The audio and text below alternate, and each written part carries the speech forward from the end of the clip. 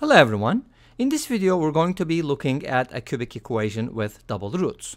So the equation ax cubed plus x squared minus x plus 2 equals 0 has a double root which means that you know this is a cubic equation it has three roots real and complex and we're just saying that x1 equals x2 and they're different from x3. Alright so that's what we're talking about. In order for this equation to have a double root what is the value of A. Okay. Now, I'm going to be presenting two approaches here. The first method. Now, if x equals r is the double root,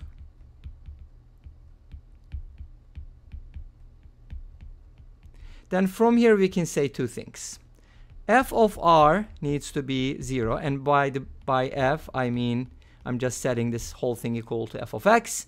f of r is equal to 0. And we also get f prime of r is equal to 0. Yes, we're going to be using calculus because if we have a double root, that is going to be a root of the original polynomial as well as the first derivative. And you can easily check that uh, by writing it in terms of uh, its roots. Okay, so let's go ahead and, um, you know, just take this expression f of x x cubed minus x squared minus x plus 2 and differentiate it. If you differentiate f, you get 3ax squared minus 2x minus 1. Now, we're saying that r is going to be a root of both of these polynomials since it's a double root. So let's go ahead and replace r with both of these equations. So the first one gives us ar cubed minus r squared minus r plus 2 equals 0. So that's my first equation. And I can kind of simplify this a little bit, maybe isolate the r, r cube and so on and so forth. But let's go ahead and write the second one as well. So that's kind of going to tell us what to do. The second equation, if I replace x with r, using this idea here, f prime of r needs to be 0, then I get 3ar squared minus 2r minus 1 equals 0. Now looking at this system of equations, we have two variables and two equations, so hopefully we're going to be able to solve this equation. And this is the first method. In the second method, I'm going to be using a very interesting idea. Hopefully um, you'll like that because that's something that we don't really talk much about. Okay, so what, what am I supposed to do here? Uh, from the first equation, I would like to isolate AR cubed. So let's go ahead and do that and I can write this as r squared plus r minus 2 and then from the second equation I want to isolate 3a r squared and that can be written as 2r plus 1 now here's what I'd like to do. I want to use I want to get rid of a or r obviously but getting rid of r is really difficult maybe impossible but I can get rid of a easily by using elimination. Uh, so let's go ahead and multiply our first equation by 3, right? And let's multiply the second equation by r. You could multiply by negative r and add, but I'm going to set them equal to each other. So on the left-hand side, I should be getting 3ar cubed equals 3r squared plus 3r minus 6. And on the uh, second equation, I'm also getting 3ar cubed, so I can basically set it equal to that, 2r squared plus r. So if you distribute this, uh, you're going to get the same thing from the left-hand side. So if two things are equal to the same thing, then they're equal. That's what I'm talking about.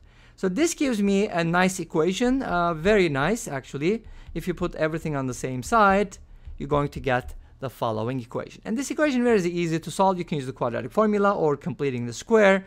Obviously, it's not factorable into rationals, but whatever you do, you're going to get r equals negative 1 plus root 7 and r equals negative 1 minus root 7. Very easy to solve. Uh, we could also use the what's known as uh, Po-Shen Loh method. Uh, maybe we'll talk about that later. Okay, so these are the r values, though I don't need r. I need the a values, right? I'm supposed to find a. But I can find it because we have an equation that relates a and r. So why don't we just go ahead and use that one? The second equation gave me 3ar squared equals 2r plus 1. From here, if I isolate a, I get 2r plus 1 divided by 3r squared. So I was able to write a in terms of r, and I know the values of r, so I can just plug it in and find the values. Let me just find one, and then I'll tell you the other one is going to be very similar.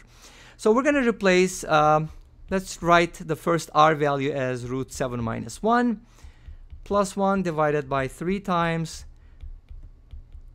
root 7 minus 1 squared. This is going to give us the first a value, and then the second a value is going to be very similar. I'll tell you what it is. Sim let's simplify this. Uh, this gives me 2 root 7 minus 1.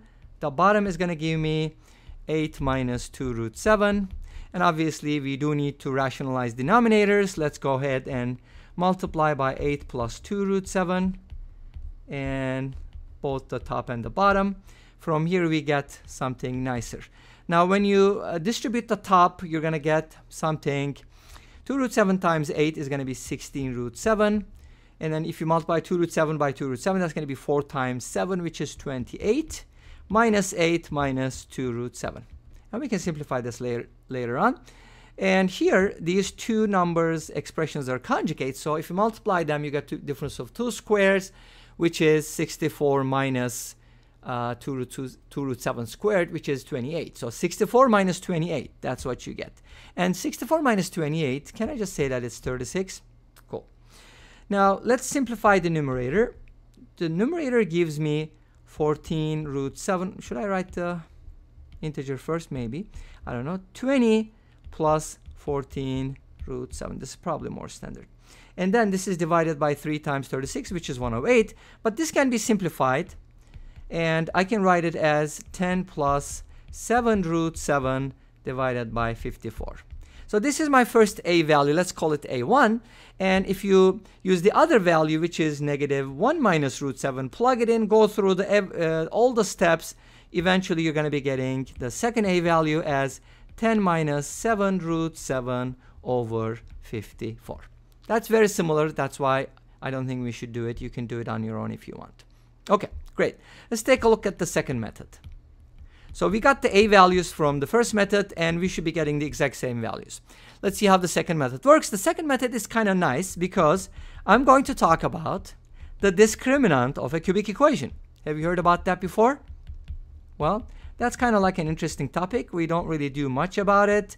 It's not mentioned much because it's quite complicated. As you know, the cubic formula is pretty complicated. Of course, the discriminant is also complicated. I'm not going to get into the details why this is the discriminant, but I'm just going to give it to you for free. The discriminant of this cubic equation, ax cubed plus bx squared plus cx plus d, can be written as b squared c squared minus 4a c cubed minus 4b cubed d minus 27 a squared d squared plus 18 a b c d. Obviously, this is a mouthful, right? That's a very long expression. What would you expect, right? I mean, what happens if uh, a is equal to 0? We should be getting a quadratic, right? Okay, anyways, you can take a look at it. But this is the discriminant. But discriminant, interestingly, can also be written in a different way in terms of the roots of the cubic equation. So we can also write it as a to the fourth power multiplied by x1 minus x2 quantity squared multiplied by x1 minus x3 quantity squared multiply by x2 minus x3 quantity squared. So the in uh, the difference, uh, the order in which you take these differences don't matter because we're squaring everything, and obviously we do have some type of symmetry here. So that's the discriminant, and this the second formula is actually really really cool because it tells you what happens when we have a double root. So in other words, if x1 is equal to x2, what happens? You get a 0 and discriminant becomes 0. So x1 equals x2 in a cubic equation basically implies that the discriminant is 0. Awesome. So, and it's kind of similar for quadratic equations too, right? You wouldn't be surprised. So if you just go ahead and plug everything uh, into, you know, the A, B, C, D stuff, you will be getting something like this. You would get 1 plus 4a plus 8 minus 108 a squared plus 36a is equal to 0. I did the work for you so you don't have to worry about it.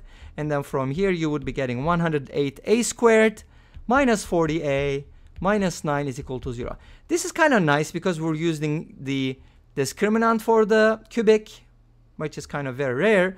and also getting the a values directly. And if you solve this quadratic equation by any means, you're going to be getting the following solutions.